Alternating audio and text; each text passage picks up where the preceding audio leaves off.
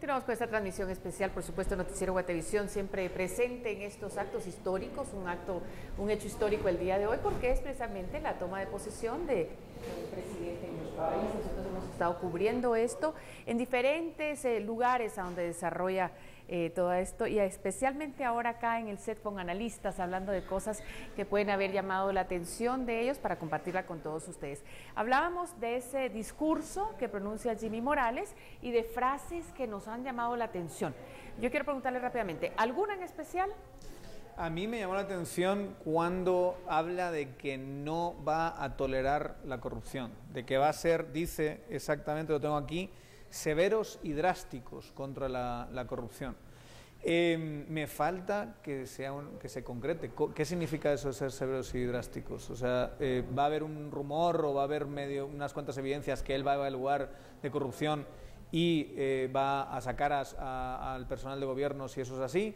Va a pedir la renuncia de los que sean señalados, va a esperar a que la justicia lo saque, entonces ya no es él el que tendrá que ser severo y drástico, sino que es el sistema de justicia. Creo que hace falta más concreción en ese sentido, pero a mí me, hizo, digamos, me, pareció interesante que, fuese tan enfático en esa parte. Además subió el tono de la voz ah, en ese momento, que ah, también dice mucho, ¿no? La comunicación no verbal a veces, pero que se refleja en eso. ¿Alguna para ti que te a, a mí me llamó mucho la atención cuando habló que un crecimiento del 4% no era suficiente, que le gustaría ver un crecimiento del 6%. Y alguien me comentaba, eh, bueno, un crecimiento del 6% a costa de qué? A costa de los recursos naturales, cuál va a ser la política para hacer ese incremento, eh, uso, uso extensivo de los recursos naturales, van a promover la minería, van a promover las hidroeléctricas, van a promover actividades extractivas, sabiendo la conflictividad social que en estos momentos hemos vivido por ese tipo de actividades. Y por otro lado, si bien es cierto que tuvimos un crecimiento del 4% en este, este último año, la, la demostró que ese crecimiento no se vio reflejado en las personas con menores, menores recursos. Seguimos teniendo un 63% de pobreza y ese 63% de pobreza no se redujo. Entonces, ¿a dónde va el dinero? Si él quiere hacer algo, debería de trabajar en una política redistributiva. redistributiva. ¿Esto qué quería decir? Está bien que crezcamos, pero que crezcan todos los grupos, que crezcan los que están arriba y que pueda el Estado trabajar por las personas más necesitadas. En algún momento lo mencionó de que iba a agarrar, por ejemplo, estas bolsas que se han regalado y que le iba a quitar lo político y lo de estar así haciendo promoción política para ganar votos y comprarlas a través de los votos. Eh, para ti entonces no fue suficiente el solo mencionarlo, sino el cómo es la esencia. ¿Era hoy el lugar para dar la esencia y eso es lo que se quedó corto, según lo que tú piensas? Según yo, sí. Okay. Según yo, sí, porque eh, como, como todos decimos, ¿verdad? La primera impresión es la que cuenta. Y hoy él pudo haber definido las grandes líneas de su gobierno y pudo habernos dicho, yo voy a trabajar por los pobres, yo voy a trabajar por ampliar la clase media o yo voy a trabajar por el sector económico. Y para mí, de lo que escuchamos al hablar de un crecimiento mayor, estaba refiriéndose a un grupo, a un grupo concreto. Entonces, para mí era más importante que él hablara cómo iba a atender los problemas sociales. Está demostrado que a estas personas que tienen escasos recursos, los que se encuentran en extrema pobreza y los que se encuentran en condiciones de pobreza, no existe para iniciar otra forma que no sea ayudándoles con subsidios, con, con remesas condicionadas. Entonces pudo haber dicho, ya esto no es nuevo, ya nosotros estamos acostumbrados y fue una propuesta que lanzó inicialmente el Partido Unionista y que luego recogió el partido UNE, luego implementó el Patriota, que el Patriota lo implementó muy mal, pues él podría continuar con una política que se ha venido dando, pero en todo caso mejorarla, volverla transparente y no clientelar, que es la principal acusación hacia las remesas. Hacemos un corte en este momento, pero regresamos con más, no se vaya, seguimos aquí en la transmisión.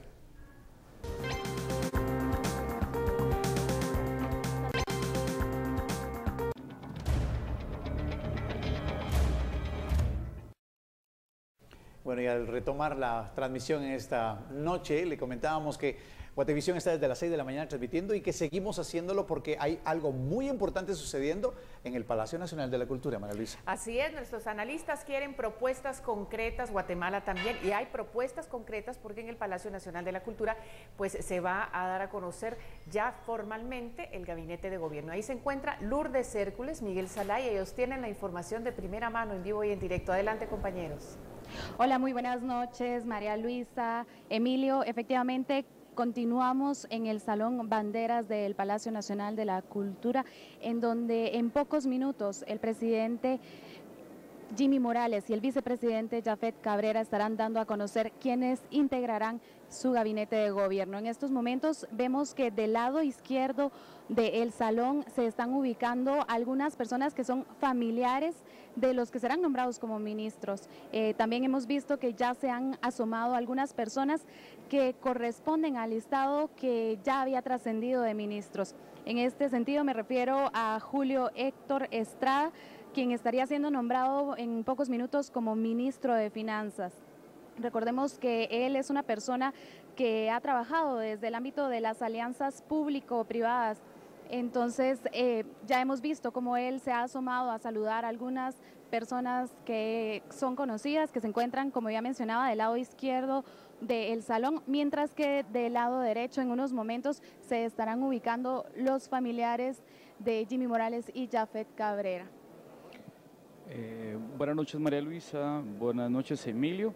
Pues eh, yo estoy acá eh, tratando de narrar un poco el ambiente en el que nosotros estamos parados. Acá hay aproximadamente unos 50 medios de comunicación entre internacionales y nacionales quizá no se pueda escuchar, pero a lo lejos se escucha un conjunto musical de marimba quien está amenizando la recepción, misma que, eh, a la que estarán asistiendo los familiares de los ministros y los invitados especiales, luego de que sean juramentados eh, los ministros designados por Jimmy Morales y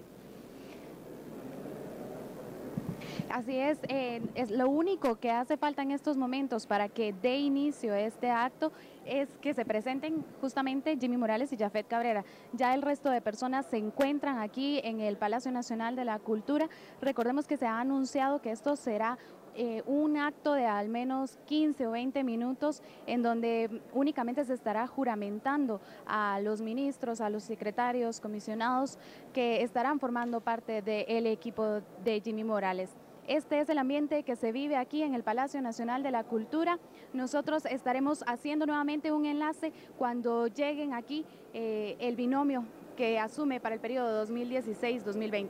Sí, e, es importante también mencionar que a lo lejos se siguen escuchando las manifestaciones que se ubican frente al Palacio Nacional. Han estado ahí desde las 2 de la tarde y hay personas que siguen llegando, que siguen sumándose y bueno, eso se puede traducir únicamente a que eh, habrá más manifestaciones en adelante, esta es la primera y el mensaje es, la población está aquí, vigilante, para eh, poder fiscalizar las acciones, no solo del gabinete de gobierno de Jimmy Morales, sino del mismo presidente y su vicepresidente. De momento eso es la información que nosotros tenemos, igual estaremos pendiente y comunicándoles cuando Jimmy Morales se haga presente al Salón Las Banderas de este Palacio Nacional. No, pues gracias, eh, Salay. Muy, o sea, va a ser algo muy corto, 15 minutos para, para venir y decir, bueno, este es el equipo. Vamos a estar, por supuesto, nosotros eh, atentos y al Así que en el instante que esto comience, nosotros le vamos a pasar a usted esas imágenes, esté pendiente, por favor. Pero bueno, ya hay un nombre, el familiar está ahí, Julio Héctor Estrada. ¿Qué tal? ¿Qué opinamos, Fernando? en las finanzas. Julio Héctor Estrada como, ministro, como ministro de Finanzas. Eh, Julio Héctor Estrada ha estado, digamos que él ya tiene algún conocimiento de la función pública, porque en este periodo de la administración de, de Otto Pérez Molina se desempeñó como el director de la ANADIE, ¿verdad? La, encargada de las alianzas público-privadas. Entonces, algún conocimiento él ya tiene de la administración pública. Sin embargo, a mí me, lo que yo me preguntaría es, ¿cuánto sabe él de administración de finanzas de un Estado y de un Estado que está en estos momentos en crisis? Él va a llegar a administrar una crisis económica. El Ministerio de Finanzas generalmente eh, su principal función es decirle a los demás, a todas las demás eh, instituciones, no hay dinero, porque todo lo que están haciendo es llegando a, pedirle más recursos. Entonces ahí tendríamos que eh, analizar su nombramiento y todos los demás nombramientos a lo que nos dice el artículo 153 de la Constitución Política, que nos habla que para ser funcionarios públicos tienen que ser idóneos y que tienen que ser también honrados. Entonces habría que ver la idoneidad de esta persona para desempeñar un cargo como el que se le está planteando. No creo que tenga la experiencia para esto, habría que ver cómo lo va a desempeñar. Difícil trabajo también el del presidente Morales conformar ese gabinete, porque tampoco es que toda la gente estaba encantada de aceptarlo, hubo gente que, que al final se retiró. Sí, parece que hubo bastantes personas que le dijeron que no. ¿Verdad? Y que eh, eso obviamente tiene, tiene implicaciones en cómo se ha configurado al final, que por cierto tampoco estamos confirmando el cargo porque hemos visto a la persona ahí, no porque, hemos, recibido, entiendo yo, una comunicación de parte del partido, de parte de Jimmy Morales y su equipo, de que este es el equipo. Entonces realmente estamos en una situación un poco absurda. Em, creo que también hay un factor que no hay que olvidar y que se parece bastante a vieja política y es que muchos de los que se le ha ofrecido esta clase de puestos han dicho que Jimmy llegaba y decía, bueno, te ofrezco este ministerio, pero mira, este, este viceministerio está ocupado, esta dirección está ocupada, esta secretaría está ocupada. Entonces, si yo voy a entrar a un sitio donde mi, eh, subordinado puede hablar directamente con mi jefe, y por lo tanto puede haber ahí unas dinámicas en las que quizá no me haga caso o quizá tenga más información esa persona que yo, pues eso a lo mejor no me gusta. Eso ha pasado toda la vida con, eh, con, presidentes, pero si Jimmy Morales va a jugar a ser nueva política, sería la típica maña que no debería hacer. Si va a confiar en una persona para que dirija un ministerio, tal y como está configurado el servicio civil hoy en día, que deje que esa persona nombre a su equipo y que no le ponga personas abajo porque eso va a generar cierto grado de desconfianza. Para mí también la, configuración, si se confirma esto, esto que se filtró, no tiene grandes pesos pesados este, este gabinete eh, que le vayan a mover políticas públicas. Digamos, Julio Héctor Estrada es un buen ejemplo de alguien que ha tenido puestos no excesivamente altos, que ha tenido, yo creo que, Julio Héctor es una persona muy inteligente, que es un buen economista, sonaba más para ministro de Economía que para ministro de Finanzas, ¿verdad? Mm. Hay una parte técnica del Ministerio de Economía que es un, que es una, digamos, es un infierno una vez eh, puestos a operar pero no es una figura que uno diría como Fuentes Knight, vamos a poner un ejemplo. No es una figura que tenga un peso político por sí misma y que pueda defenderse al margen de Jimmy Morales. Y el ministro de Finanzas es una persona que se tiene que, pelear con todos los demás ministerios. Entonces ahí es donde yo veo que Jimmy Morales va a tener que jugar muchas batallas porque pese a ser personas muy inteligentes y muy capaces, todavía creo yo que ha elegido a gente de un perfil no tan político, no, de tanta fuerza política. No sé si la palabra es elegir, Daniel, para como lo hemos visto, ¿no? Perdón que lo, esto diga de esta manera, pero bueno, absurdo. quiero contarles que esto que estamos a la espera de esta confirmación del gabinete estaba supuesto a ser, según eh, el material que se dio por parte eh, precisamente del gobierno en el tema de la transmisión de mando, para las 20 eh, horas. Y miren la hora que es y seguimos a la espera, ¿no? Siempre hay un retraso, pero bueno, eso es lo que, lo que ha sucedido. Vamos a continuar ahora con más. Entendemos que vamos directamente a información. Las rutas 36 y 37 que circulan del Granizo, la Betania y el Amparo, al parecer eh, están presentando problemas y de eso vamos a hablar, pero será en breve, un poquito más adelante. Acompáñanos ahorita a una pausa comercial y regresamos.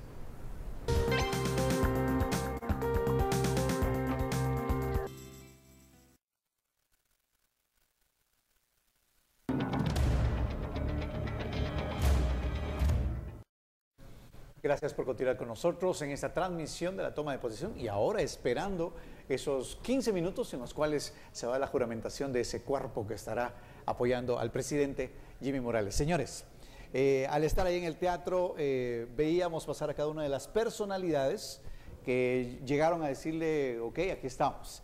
¿Cómo se lee esa química de, personalidades que se dio hoy ahí al frente? Ver a Cuba, ver, Estados Unidos, ver al vicepresidente de Estados Unidos, que en la historia solo una vez más, ¿verdad? Esta es la segunda que pasa. Eh, ¿Cómo leyeron ustedes ese apoyo? Ver, por supuesto, al presidente de Ecuador, en esa química, ver a, al vicepresidente cubano. O sea, ¿cómo leemos eso, Fernando? Bueno, a mí me parece me parece súper interesante, incluso escuché algunas notas que decían que muchos funcionarios que no habían sido, o países que no habían sido invitados, incluso pidieron ser invitados a la toma de posesión y que confirmaron su participación.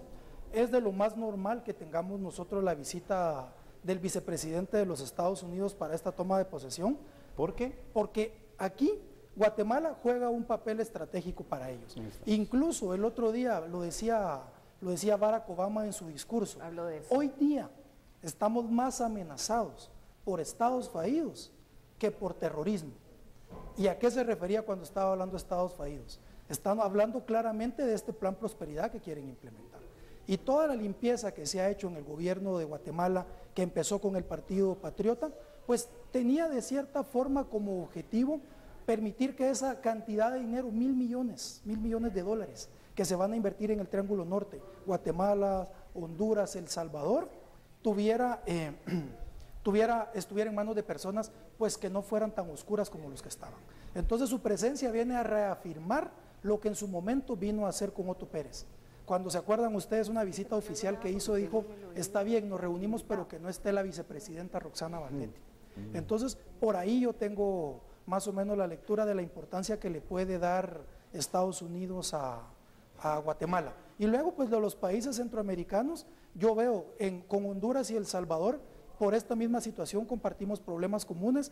Creo que ellos obviamente también venían con el objetivo de reunirse con el vicepresidente de Estados Unidos. Pues Nicaragua mandó un vicepresidente, supongo yo, porque no tiene una buena relación con Estados Unidos y no quería también pues encontrarse, ¿verdad? tener esta, esta situación incómoda. Y así podríamos ir viendo la, la presencia de cada uno de los países. Y yo no dudo que el mundo vea con cierta atención, con cierto interés a Guatemala, que después de un año 2015 donde la ciudadanía de alguna forma fue muy activa y logró sacar a unas personas que están acusados de corrupción, pues ver qué va a pasar con un nuevo presidente venir a constatar personalmente si es cierto que las manifestaciones están ahí, cómo va a funcionar esto. Emilio estuvo al frente precisamente viendo toda esta situación y nosotros queremos, antes de, continuar hablando con nuestros analistas, que ustedes también vean un poquito de lo que sucedió, de lo que dijo el presidente Jimmy Morales y por eso vamos a tener un pequeño resumen.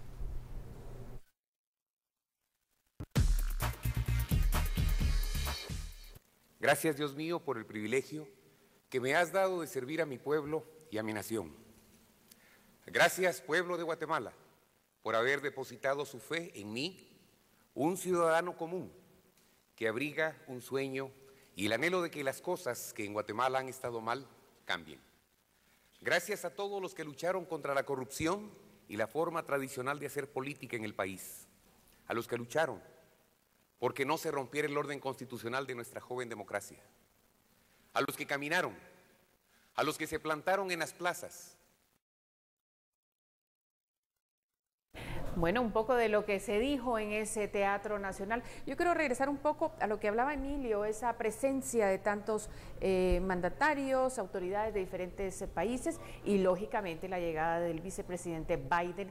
Para unos, y quiero preguntarle a Daniel, para unos analistas era esto eh, no tanto un apoyo a Jimmy Morales mm. como un acento una presión, digamos, a Jimmy Morales. estamos vigilando. Estamos, viendo. Estamos pendientes. ¿Es así o no? Yo creo que tiene mucho que ver con la Alianza para la Prosperidad, desde luego.